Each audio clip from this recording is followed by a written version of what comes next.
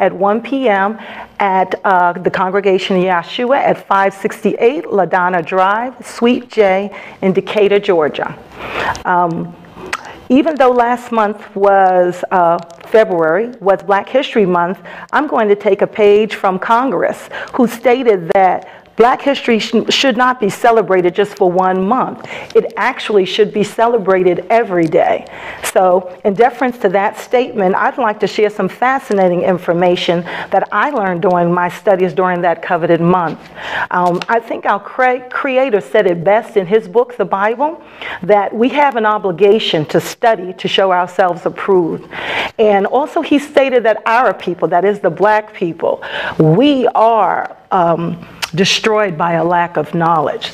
So many of us do not know that the contributions that we, the black people, have made to this country to make it what it is today, and especially about our black inventors and thinkers. So today I'd like to share with you Black Genius, celebrating the innovations and contributions of black Americans. According to the United States Patent and Trademark Office, black Americans hold more than 2,000 patents for inventions that have changed the lives of all people in America and throughout the world. And that number is growing every day. So, what is a patent? A patent is a property right granted by the government to an inventor. Webster's dictionary defines a patent as a government authority or license conferring a right or title for a set period, especially the sole right to exclude others from making, using, or selling an invention. And who can apply for a patent? A patent, a patent can be applied for only in the name of the actual inventor. And how long does a patent protection last? Uh, utility patents are generated uh, for a term of 20 years from the date that the patent was first applied, and design patents last 14 years from the date that it's granted. Despite the hardships suffered through slavery, many black Americans have managed to become great inventors, scientists, and thinkers. Today, I'd like to focus on some individuals deemed to be the 10 top greatest and innovative black American inventors who have changed the fabric of technology and design in this country and even the world. Norbert Rillieux. He's the inventor of a sugar refining machinery. Safety, efficiency, and profitability. These are the major reasons for the success of an invention. A greater qualification is when the invention revolutionizes an industry.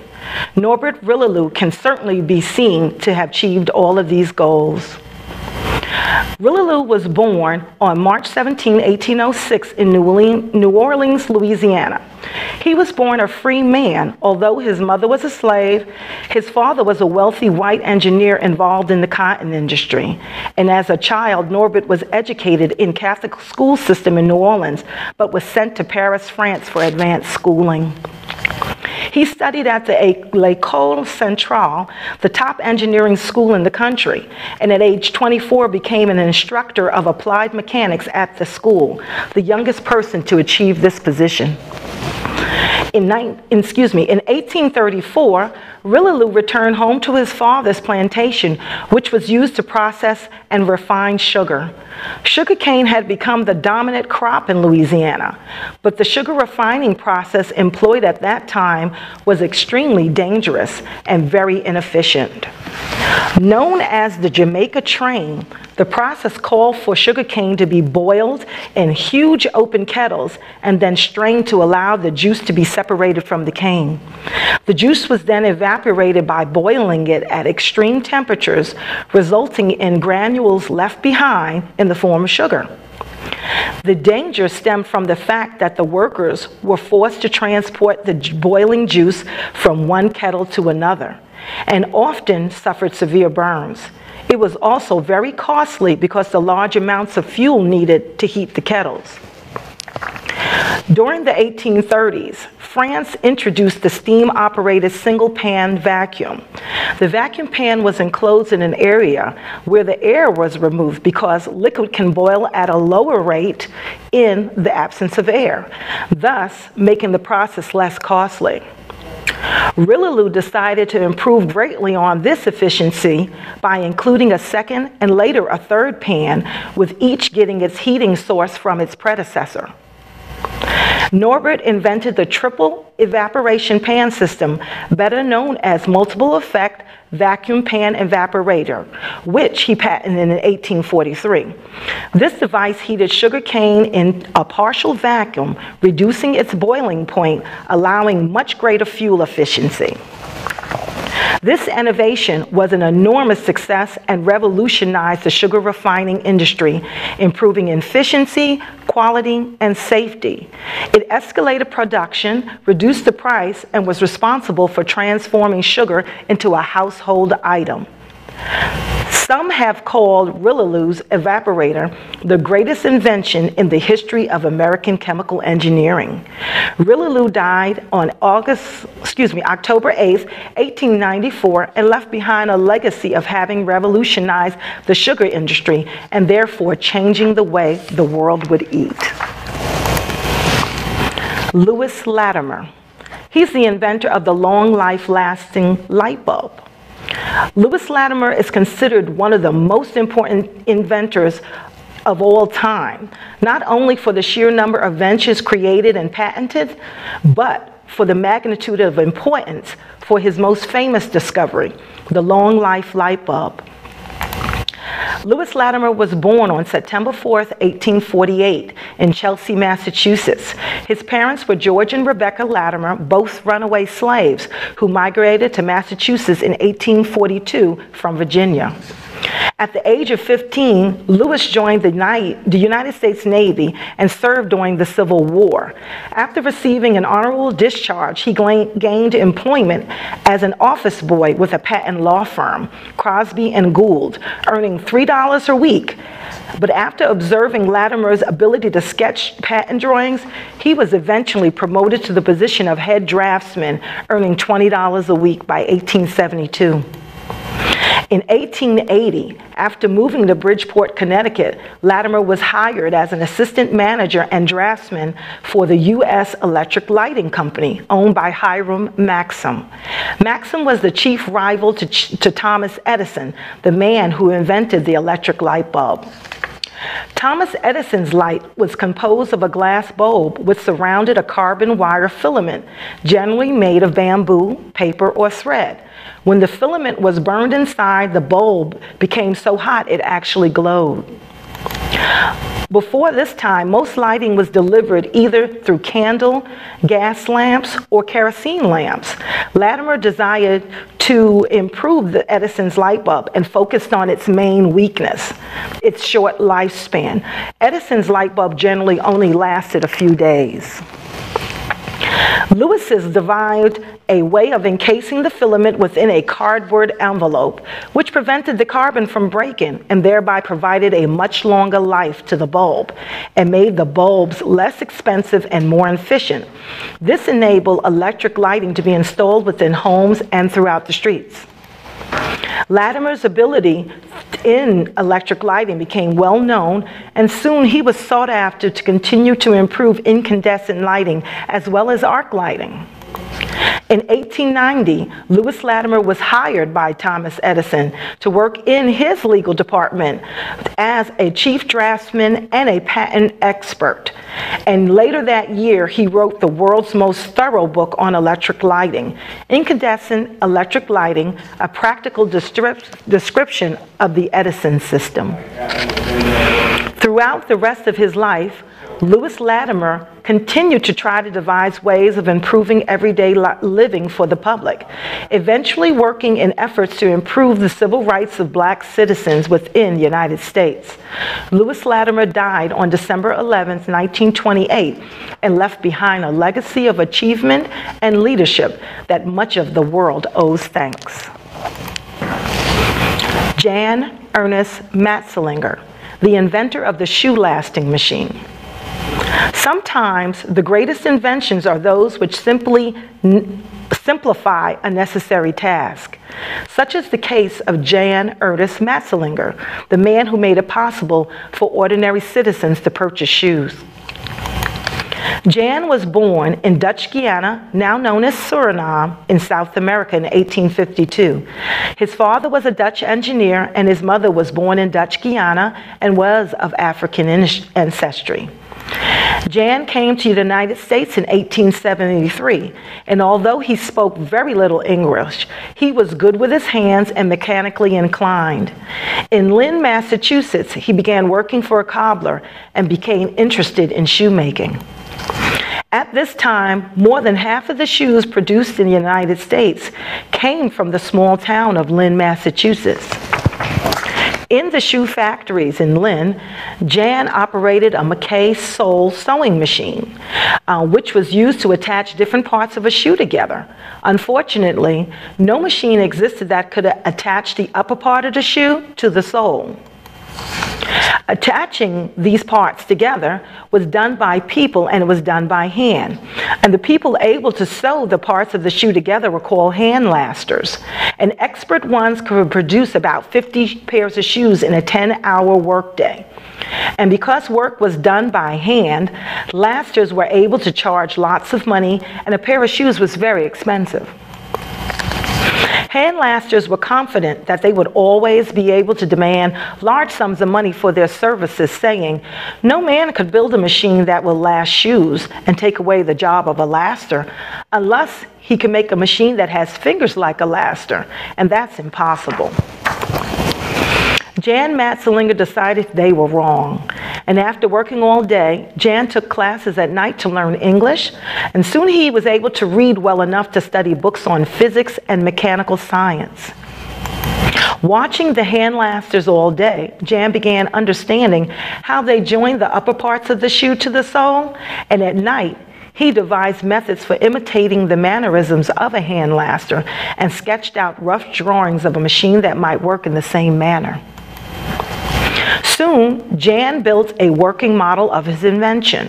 After six months, he finished a third model of the machine, and at this point, he applied for a patent for the device. Because no one could believe that anyone could create a machine which could duplicate the work of an expert laster, the patent office sent a representative to Lynn, Massachusetts to see the device in action. On March 20th, 1883, Jan was issued a patent for his shoe lasting machine. And within two years, Jan had perfected the machine to the point that it could produce up to 900 pairs of shoes each day, as compared to 50, 50 pairs a day for a hand laster. As a result of his work, Shoe manufacturing increased as did efficiency. This lowered prices for consumers and increased jobs for the workers. Jan Matzelinger left behind a legacy of tackling what most thought was impossible, making shoes affordable for the masses. Sadly, Jan Matzelinger would only enjoy his success for a short period of time as he became afflicted with tuberculosis in 1886 and died on August 24, 1889, at the tender age of 37.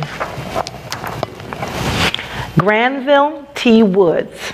He was an inventor of a variation of the induction telegraph. The magnitude of inventor's work can often be defined by the esteem in which his fellow inventors hold him. Granville T. Woods was certainly a respected inventor, as he was often referred to as the Black Thomas Edison. Granville was born on April 23, 1856, in Columbus, Ohio. He spent his early years attending school um, until the age of 10, then at which point he began working in a machine shop, repairing railroad equipment and machinery.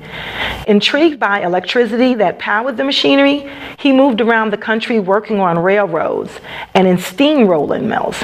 And this experience helped to prepare him for a formal education studying engineering.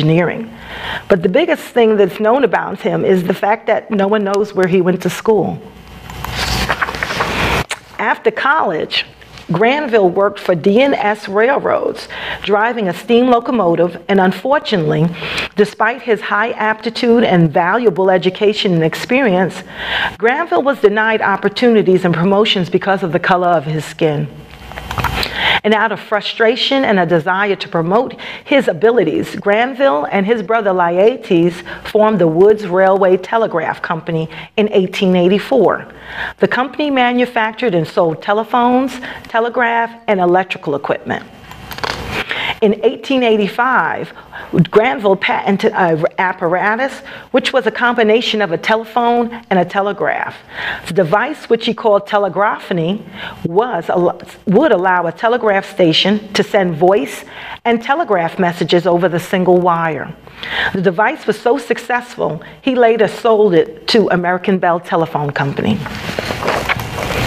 In 1887, Granville developed his most important invention to date, a device called the synchronous multiplex railway telegraph. This was a variation of an induction telegraph. It allowed for messages to be sent from one train to the railway station, but this allowed dispatchers to know the location of each train. It provided for great efficiency and decreases in railway accidents because the system was for letting the engineer of a train know how close his train was to others. Granville often, though, had difficulties in enjoying his success, as other inventors would often claim his devices. Thomas Edison made one of these claims, and Granville was twice successful in defending himself against Thomas Edison and his patents. After the second defeat, Edison decided it would be better to work with Granville than to go against him and offered him a position at Edison Company. Over the course of his lifetime, Granville would obtain more than 50 patents for inventions, including the current electrical system used today for the railway systems, the concept of the third rail, an improved steam boiler furnace, and the automatic brake and for improvements to other inventions such as safety circuits, the telephone, the telegraph, and the phonograph. When he died in January 30th, 1910, in New York City, he was admired and well respected inventor, having sold numbers of his devices to such giants as Westinghouse, General Electric, and American Engineering. Most importantly, he was known amongst his fellow inventors and to the world as an electrical genius and the Black Thomas Edison. Madam C.J. Walker the inventor of hair lotions for black women. Sarah Breedlove, who later became known as Madam C.J. Walker, was born on December 3rd, excuse me, 23rd, 1867 in Delta, Louisiana, the daughter of Owen and Minerva Breedlove. Her parents were former slaves working as sharecroppers, and both died when Sarah was a child. Sarah ran away and married Moses McWilliams when she was 14 years old, and in 1885 gave birth to her daughter Lelia two years later. However, her husband Moses was murdered by a lynch mob. After this tragedy, Sarah moved with her daughter to St. Louis, Missouri, where she worked as a cook and a house cleaner. Unfortunately, all the stress and hardship had begun to take its toll on her, and she found her hair falling out. She tried several products on the market which claimed would help her condition, but none did. Sarah's company, though, was built on a dream she had. She said that a large black man appeared to her in a dream and gave her the formula for curing baldness. After she shared this formula with some of her friends and found it successful for them as well, she realized that there were no hair care products for black women. So she decided to go into business selling her products to black women. In 1905, Sarah met Charles Joseph C.J. Walker, a newspaper man with the ability for marketing. She married Walker on January 4, 1906, and this is how she acquired her most famous moniker, Madam C.J. Walker. She took her husband's name, and the company and the couple set up Madam C.J. Walker's manufacturing company. At the guidance of her husband, she began advertising in black newspapers throughout the United States and wanting her company to grow immensely. Sarah devoted herself to the business, including going door to door to sell her hair products. Her hard work did pay off. In 1908, Sarah started Lelia College of Beauty in uh, Pittsburgh, Pennsylvania, which trained women about hair care and how to sell the products from door to door. In 1910, she had more than 1,000 sales agents. And in that same year, she moved the company's headquarters to Indianapolis, Indiana, and soon the company grew beyond anyone's expectations. By 1914, the woman who only nine years earlier had only $2 to her name was now worth more than a million dollars. Her products range from hair conditioners and facial creams to the ever coveted hot comb, especially made for black hair and black consumers. She was the first black American woman millionaire. After her early suffering and poverty plagued existence, Sarah Breedlove McWilliams had looked for a way out, and as Madam C.J. Walker, she was able to retire after she purchased a 20 room mansion built off of the Hudson River in New York City. Sarah died on May 25, 1919, at the age of 51. She was mourned throughout the black community as a pioneer and a black industrialist. For many women, black and white, she served as an inspiration and a role model.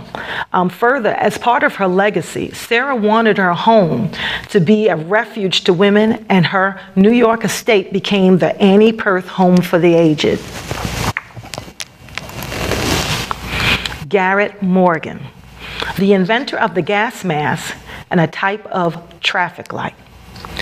Garrett Morgan was one of those rare people who were able to come up with extraordinary inventions which have tremendous impact on the world. Garrett Morgan was born March 4th, 1877, in Paris, Kentucky.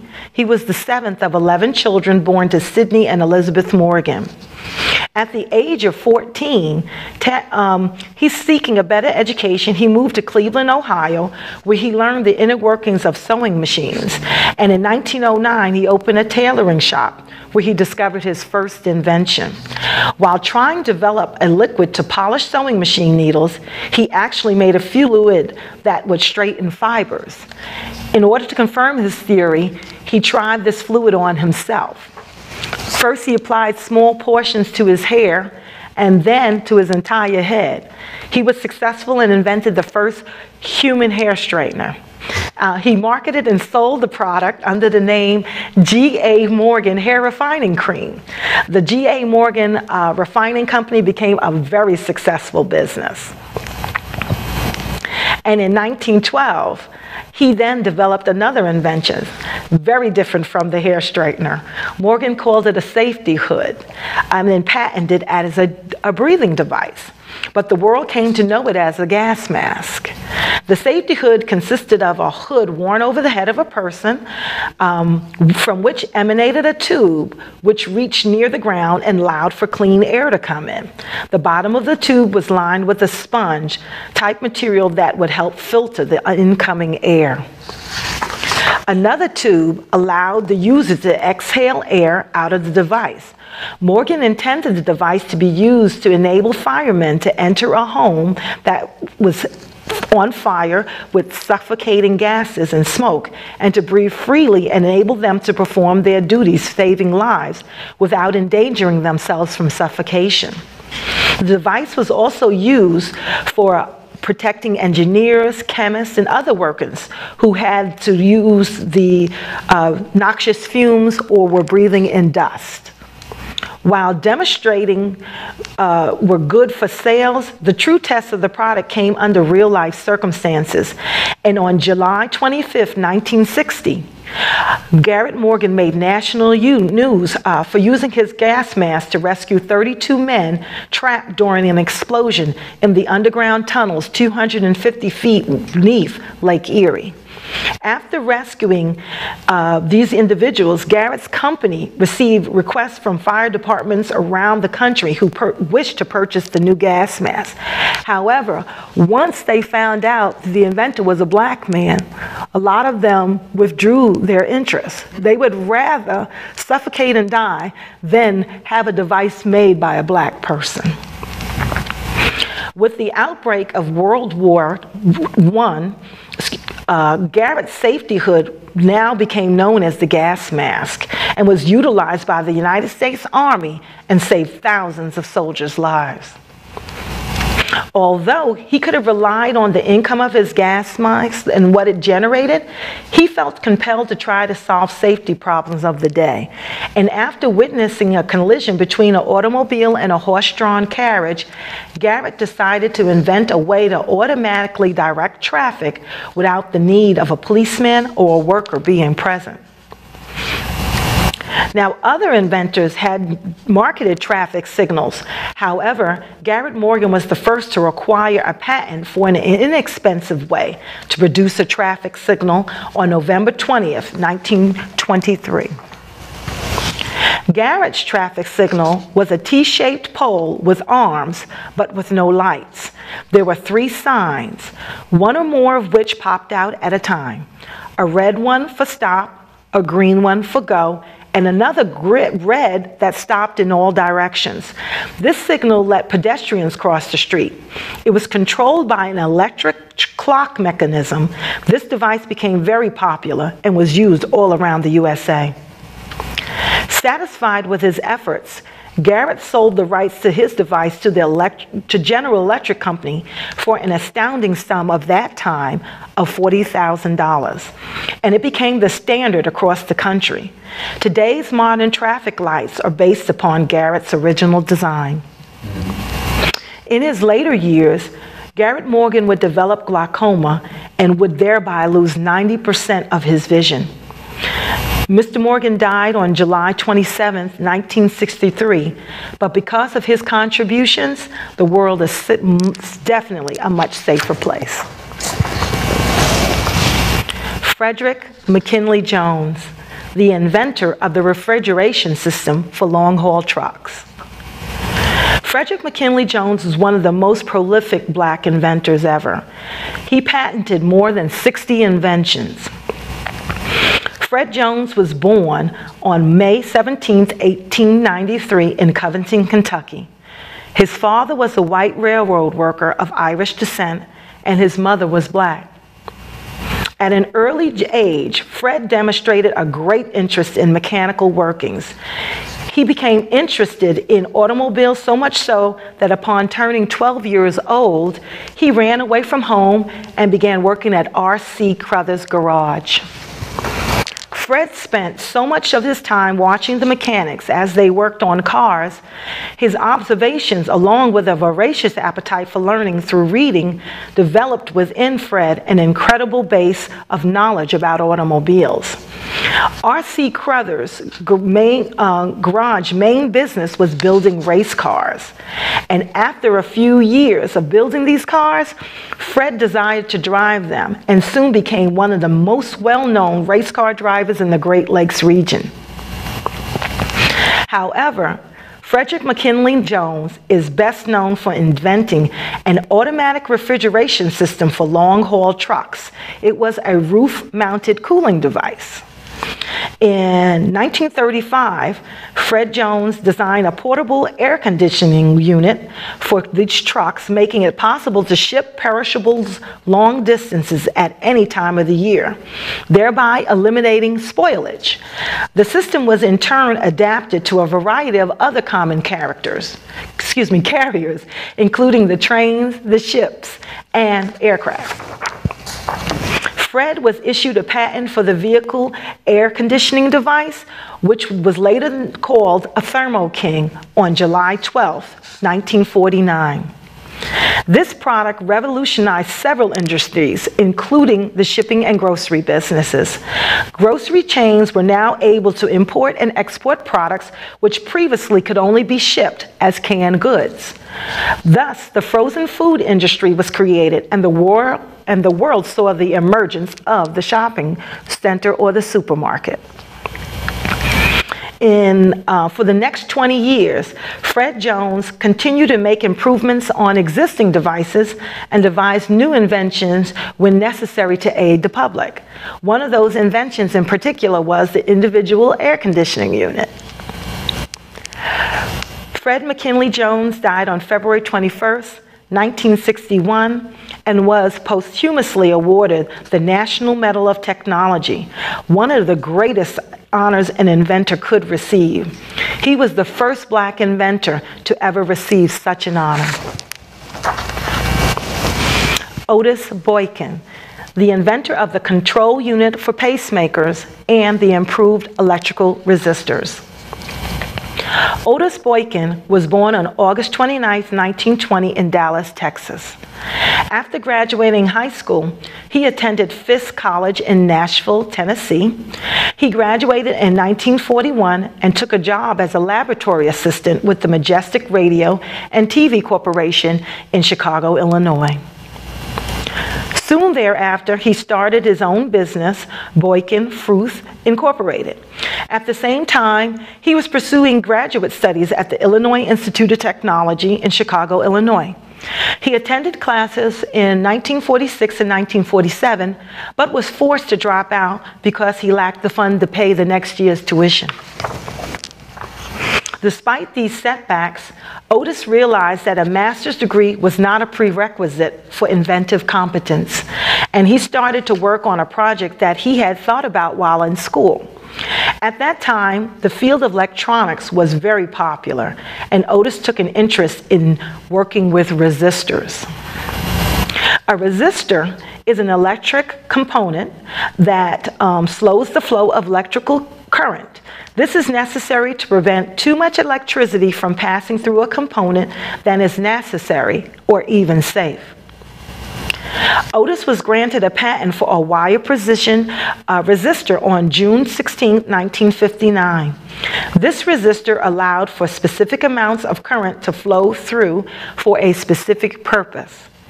Wire precision resistors are used in our radios and our televisions. Two years later, he created a resistor that could be manufactured more inexpensively. Um, it was a breakthrough device as it could tolerate extreme changes in temperature and various levels of pressure without impairing its, its effectiveness. The chip was in great demand as he received orders from consumers, electronic companies, as well as the United States military, and of course, the electronic powerhouse, International Business Machines, IBM. Otis, though, is most famous for his invention, the, a control unit for the pacemaker. The device essentially uses electrical impulses to stimulate the heart and create a steady heartbeat. Otis Boykin that the setback of having to drop out of school was not enough to, defer, to deter him from his dream of becoming an inventor. And his inventions have had a long lasting effect on the entire world. Otis, in his lifetime, ultimately invented more than 25 electronic devices. However, in tragic irony, Otis Boykin died in 1982 as a result of heart failure. They weren't able to input a pacemaker into his heart in time to save his life. George Edward Alcorn Jr., the inventor of the imaging X ray spectrometer. A noted academic and administrator, George Alcorn is a pioneer and one of the top inventors in the field of aerospace. Born in 1922, uh, excuse me, born March 22, 1940, in Indianapolis, Indiana, George was the son of Arletta and George Alcorn Sr., an auto mechanic. George was an excellent student in high school and entered Occidental College in Los Angeles, California on an academic scholarship and graduated with honors with a degree in physics in 1962. George completed his master's work in nuclear physics in 1963 and received a PhD in atomic and excuse me, atomic and molecular physics in 1967, both from Howard University. In 1968, he worked as a senior physicist at North American Rockwell a leading aerospace company, and then as an advisory engineer for in international business systems. In um, 1978, George left IBM to work for National Air and Space Administration, NASA. George, however, is best known for his development of the imaging X-ray spectrometer, the imaging X-ray machine, which was patented on September 18, 1984. An X-ray spectrometer assists scientists in identifying a material by producing an X-ray spectrum of it, allowing it to be examined visually. This is especially advantageous when the material is not able to be broken down physically. Now, the imaging x-ray machine, which is in use today in hospitals, without it, life would be twice as hard, because could you imagine having to be cut open to see if any bones are broken, or if you had a critical mass or an illness every time you went to the hospital? Over his career, George Alcorn created numerous noteworthy inventions and secured more than 25 patents. He is a well rounded academic and leader in the field of aerospace. He also served his community well over the years, involving himself in programs aimed at recruiting minorities and women to NASA, as well as programs to encourage inner city children to focus on science. Patricia Era Bath, inventor of a form of eye surgery using lasers. Patricia Bath was born on November 4, 1942, in Harlem, New York, and grew up loving science. And saw only opportunity in her future. These sentiments were instilled by her parents. Her father, Rupert, was a, the first black motorman for the New York City subway system, and he wrote a newspaper column. Her mother, Gladys, was a descendant of African slaves and a Cherokee Native Americans. She worked as a housewife and a domestic Patricia went to Charles Evan Hughes High School in New York City, uh, where she served as an editor at the school's science paper and graduated in only two and a half years. In 1959, when she was 16 years old, she was selected to participate in a summer program sponsored by the National Science Foundation at New York's Yeshiva University. She worked in the field of cancer research with Dr. Robert Bernard, and uh, she developed a mathematical equation that would later be used to predict the rate of a growth of a cancer. So impressed with her findings, Dr. Bernard incorporated her research in a joint scientific paper that he presented in Washington, D.C. Publicly, her work and this and the knowledge and publicity of her research won Patricia an award in 1960 by Mademoiselle magazine, which was a merit award awarded that was presented annually to 10 young women demonstrating the promise of great achievement. In 1964, Patricia uh, graduated from Hunter College in New York City with a bachelor's degree. In 1968, she graduated with honors from Howard University Medical School. Her exposure to black professors and administrators had a great impact on her belief in black leadership in society. In the fall of 1968, Patricia started work as an intern at Harlem Hospital and accepted a fellowship in ophthalmology at Columbia University a year later. While working at these two facilities, she made an alarming observation. In the eye clinic in Harlem, she noticed that many of the patients suffered blindness, while very few did in Columbia's eye clinic. After further research, she concluded that blacks were twice as likely to suffer from blindness as a general population and eight times more likely to suffer blindness as a result of glaucoma than their counterparts. Bath believed that the main explanation for the disparity was the lack of access to ophthalmic care for blacks and other poor people. In 1973, Patricia became the first black person to complete a residency in ophthalmology at New York University Hospital. In 1974, Patricia moved to California and became a faculty member at UCLA and Charles R. Drew University. In 1983, she co-founded and chaired the ophthalmology residency training program at UCLA and Drew Universities. She was the first black woman in the country to hold such a position. Matter of fact, she was the first woman to hold a position like that.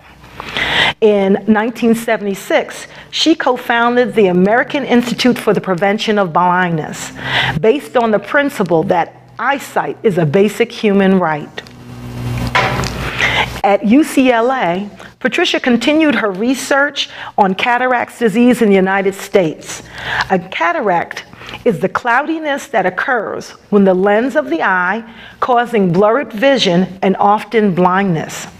The standard treatment used was a mechanical drill-like device that would grind away the cataract.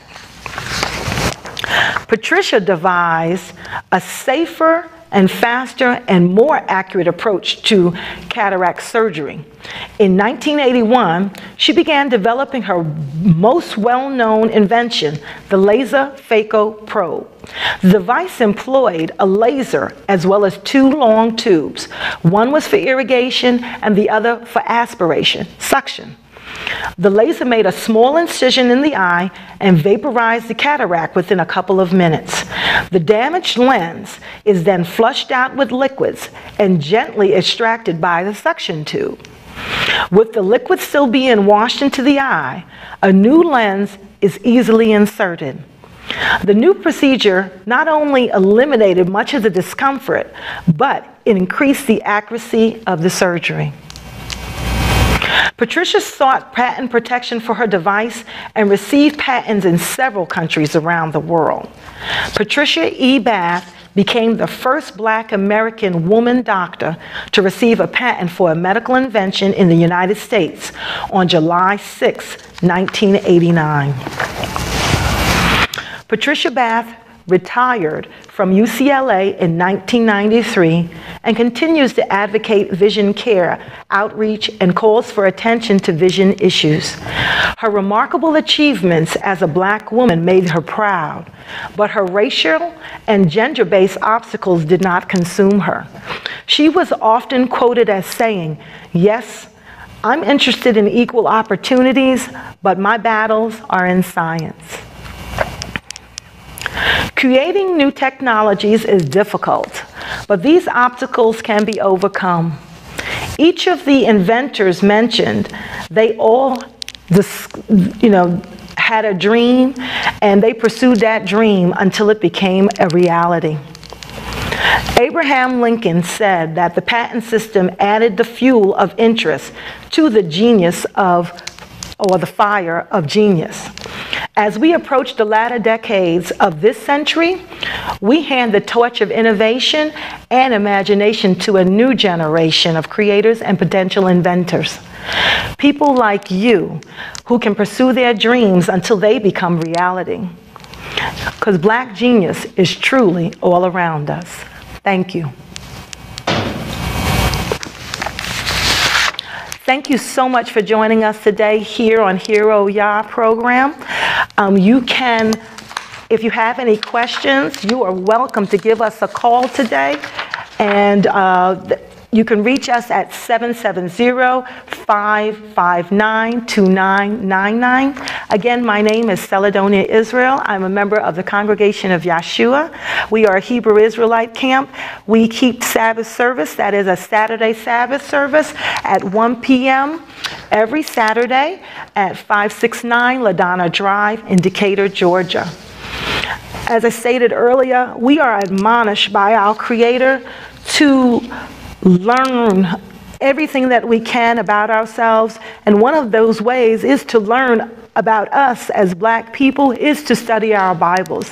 He did tell us that we need to study to show ourselves approved, and that is paramount because we do understand that we as black people came to this country, we were brought here, and therefore do not know who we are. However, the Bible is the best way to know because that is the source. It was made for us, it is about us. He wrote that love story for his children, the black people, the children of Israel. Um, our Creator gives us ideas and understanding of things. And if the Creator gives you an idea, truly believe that He will give you the means to carry it out. I believe it's best said, he said in Ecclesiastes 3:23. So I saw that there was nothing better for a man or a woman than to enjoy his work because that is our lot. So thank you again for joining us here. Have a great day.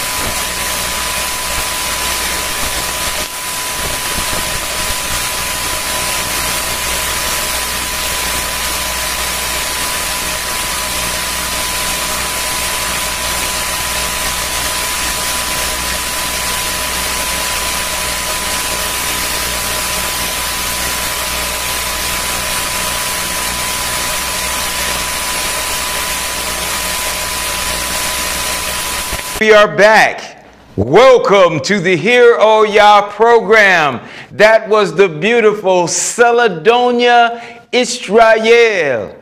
We are the congregation of Yahshua, believers in the word of Yah, and not just believe, we have to do it through faith, and it is demonstrated by our works. 770 559 2999. It is interesting to me as we look at America and what she brought was a fascinating expose of the intelligence of our people. It's not uncommon for us to have genius among us.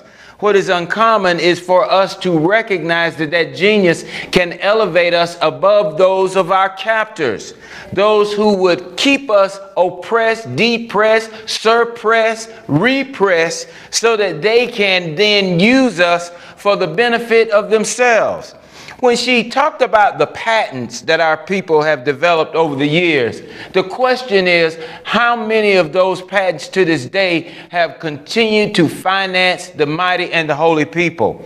We have a system of inequity, impropriety, injustice. And when we look at the various aspects of white supremacy and how they have denied due process, it is the knowledge of Jim Crow, which our beloved sisters Tamar and Samara brought weeks before. Last week we had te- technical difficulties, so we were not live. But this week we brought the hope of our people, even after Jim Crow and the white supremacist regime that has tried to suppress the mighty and the holy people, we have inventors throughout that time that came up and were champions among our people to debunk the myth that we were, first of all, not human, three fifths of a human according to their law, and did not have the intellect to perform various tasks that would make not only America, the slaves' lives better, but the world itself. Certainly, we also know that many of these inventions were part of the complicit compromise that the slaves had to were forced into based on necessity. But guess what? Necessity is the mother of invention. And as we find the mighty and the holy people have invented very many things that would help this society become the hammer of the earth, that the Messiah will return to turn into what? Little chips, because the hammer has been hammering on what? The poor, the disenfranchised, the meek, the elderly, and children.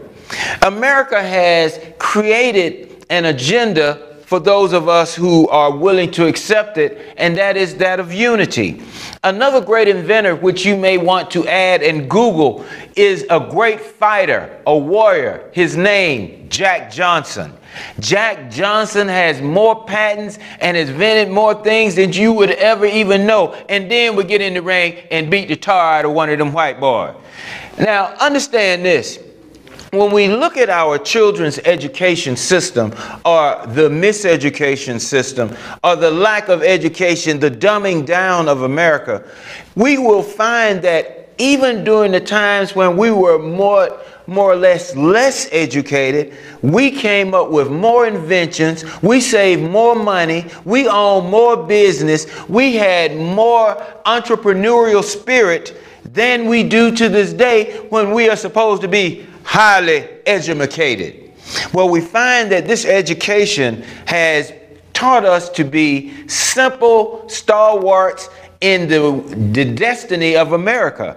We have found faith and hope in the American nightmare of white supremacy through a governmental system that has now used the utilities company. You know, I had the opportunity to call the powerful reasoning voice of Al Sharpton. Al Sharpton, as many of you know, has a nationally syndicated program. The conversation I had with him was about the criminalization of the poor under a capitalist regime with the use of the utilities companies as their tool. The utilities companies and the hydroelectric plant in particular is what I will use as an analogy. When we look at the water flowing in a great roaring river, it predated not only the Georgia Power and all of its subsidiaries, it predated man itself. But the white European arrogance and selfish pride and global thuggery that they use to take the resources of those indigenous people through a collective agenda of white supremacy and white privilege will go in and create a dam in that river. Not discounting what will happen into downriver to the environment, not discounting that the river itself is a powerful example of Yah and his creation, but because they have the military might to do it they will go take that river and dam it up. Now, when they dam that river up, guess what they use for the resources to build the dam? You, your taxes. You pay for the dam, just like now we're paying for a nuclear plant that is projected to be built down the road five to 10 years. You're paying for it right now, and it has nothing to do with whether you vote for it or not. It is a compunction of a white capitalist regime that will take from the poor and give to the wealthy. Back to the river and the hydroelectric plant. Your taxes paid for that plant. Now that plant is built on a raging river and the water is still flowing. But guess what? The money from your pockets is still flowing too. Because right after this white devil and his capitalist system takes that money from you through taxes to build this hydroelectric plant. There is now fouling the air and creating havoc in the fisheries and the transportation or the circulation of the water's planet, the planet's water. Then they start to charge you and I for something that we have already paid for. Taxes come from your pocket and mine. But under a capitalist regime, uh, regime and agenda, trying to mix those two words, they don't care.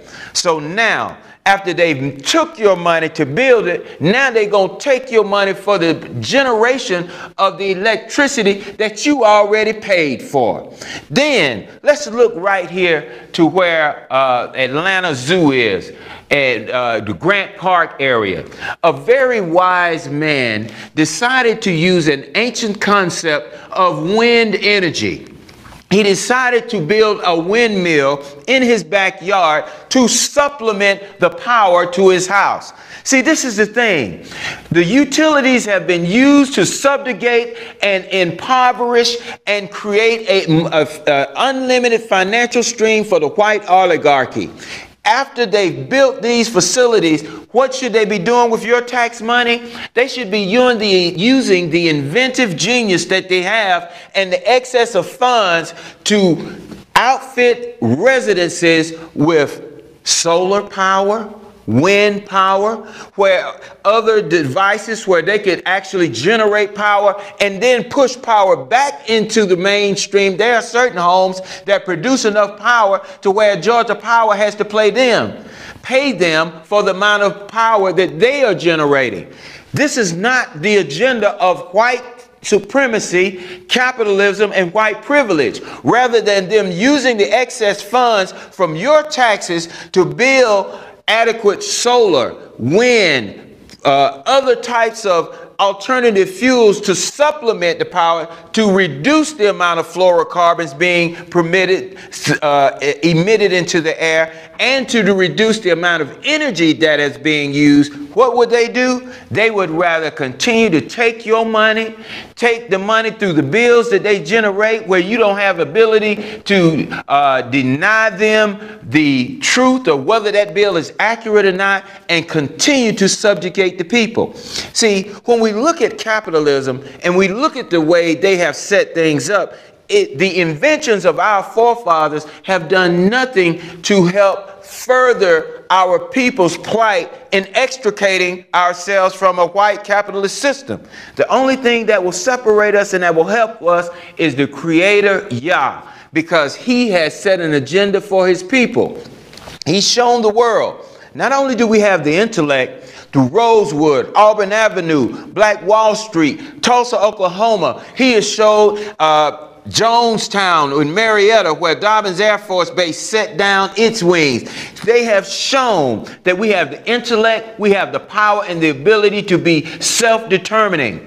But because of white supremacy and the Creator, Yah Himself, has put us in the position of subservience, we were going to have to do this time under this white system with all the genius and beauty that we have until the return of the great King. Because even though we have equal opportunity to designate the truth of the word, we don't have equal application of it in the system. I want to thank you for watching this program. We want to bring more of you here. We've got one minute left, and I'm coming out on this one minute. Remember, this program was built on building bridges to unity. We worship Yah.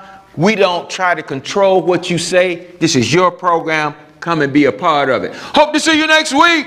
Peace in the Middle East, in your heart, and right here, peace we have.